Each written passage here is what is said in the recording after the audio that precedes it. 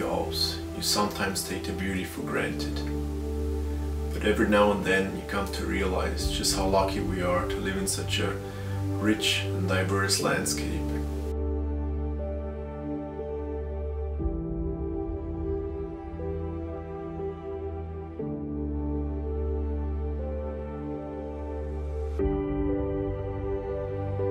There is just something magical about being in the mountains, looking at the way the light changes throughout the day, highlighting the stunning landscapes and creating a sense of peace that for me is just hard to find anywhere else. As humans, we make out just a tiny part of this ecosystem, yet our impact is huge. On the one hand, directly, when you think about ski resorts, for example, where amounts of resources beyond our imagination are spent and whole mountains are literally moved for the sake of tourism. And indirectly by contributing massively to climate change, which causes immense stress on glaciers and the ecosystem relying on the meltwater during the summers.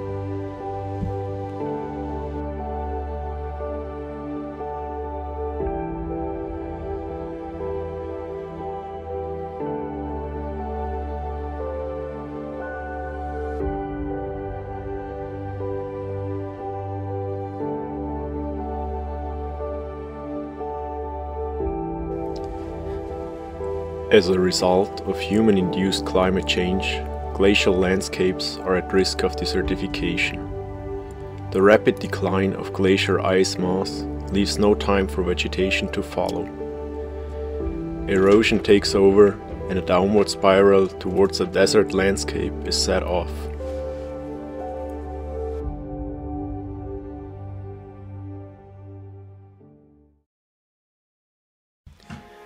Climate change and the melting of glaciers, in our opinion, is an unstoppable process.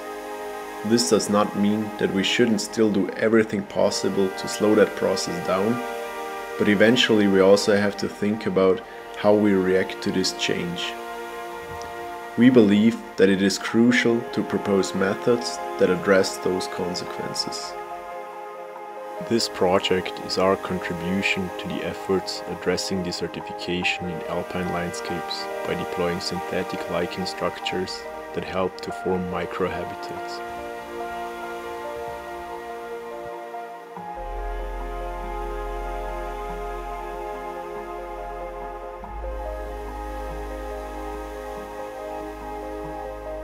In our first on-site visit, we collected some samples of material and vegetation around the glacier ice. Especially lichens became really fascinating for us. A symbiosis of algae and fungi able to populate completely barren land. Tiny structures with an incredible complexity that only became visible after closer examination. We started to scan some of the samples with a high resolution camera and produce point clouds and digital models of them. This enabled us to further explore their unique and complex surface.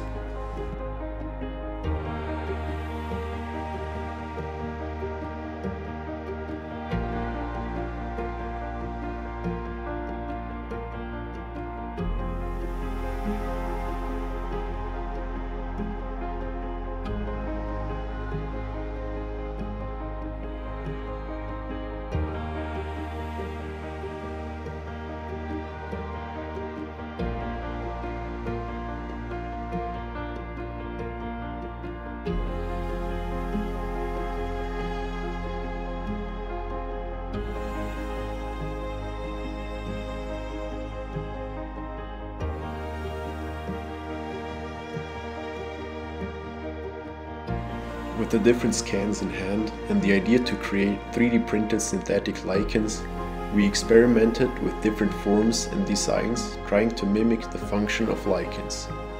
At some point we realized that we already have those beautiful complex models with all the information in the point clouds, so we might as well use them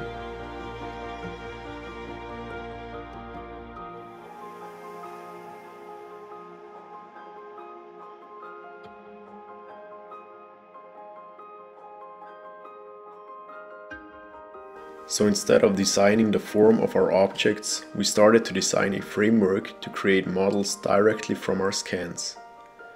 Every dot of the point cloud becomes a voxel with a size according to parameters calculated from geometric features of the model, which are stored within each point through color values.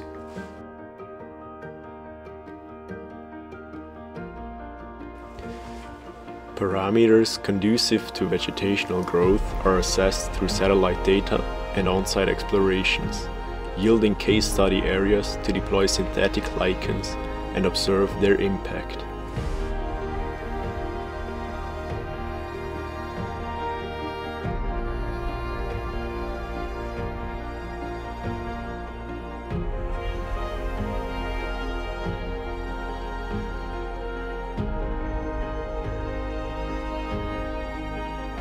Selected areas are scanned and digitally recreated, enabling us to freeze a moment in time of such unique entities that glaciers are. Every year, new scans can be done to create a timeline of the glacier's condition, preserving it for future generations to come.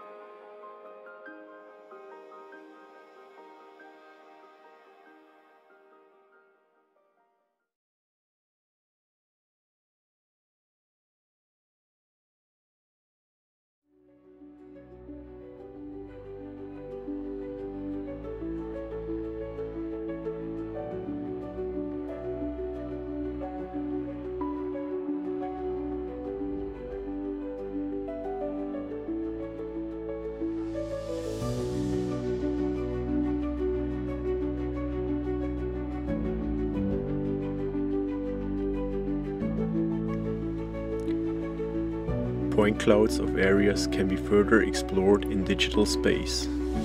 Geometric features are calculated and the information is stored within the points. They further allow for direct comparison of landscape and intervention object.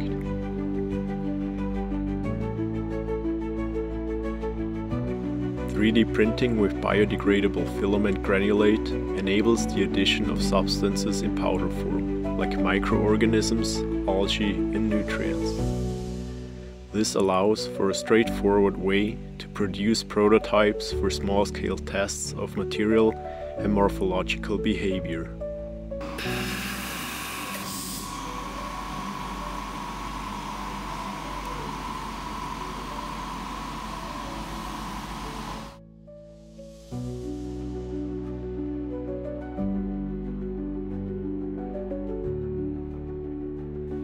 We believe that as designers we have to propose new ways of dealing with the results of climate change. Ecogenesis shows new ways to look at these challenges, towards an active role in shaping our future environment. Utilizing synthetic lichens at the naval stage is a sensible way to interact with this fragile ecosystem and can help to change the trajectory towards a rich and biodiverse landscape.